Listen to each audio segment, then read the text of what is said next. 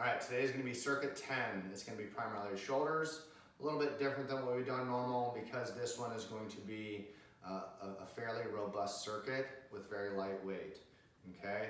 So for this, for this circuit, circuit 10, you're gonna choose a mass, a total mass, okay, total being both,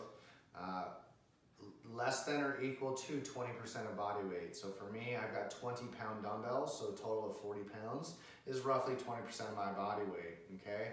Again, 300 reps is, is your total. You can only set the weights down two times. That's just to drink water. Okay, that's gonna be 20, maybe, maybe 30 seconds rest period two times.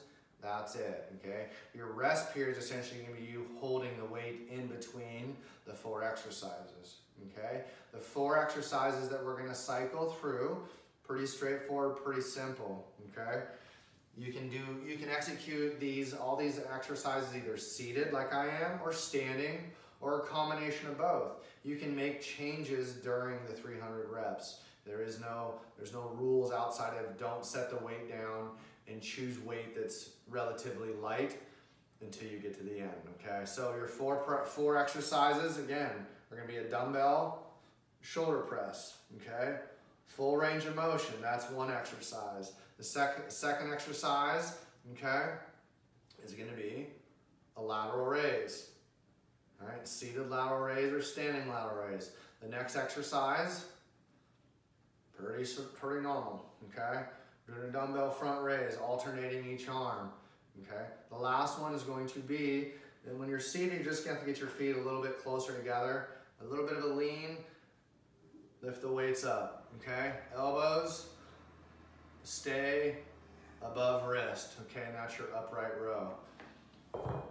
And again, the last thing as far as the rep schemes, it's just gonna be a running count. Maybe the first push press, I'm gonna get to 12 reps, and then I go to lateral raise. So I go from 12 to 13 to 14 and keep a running count, right?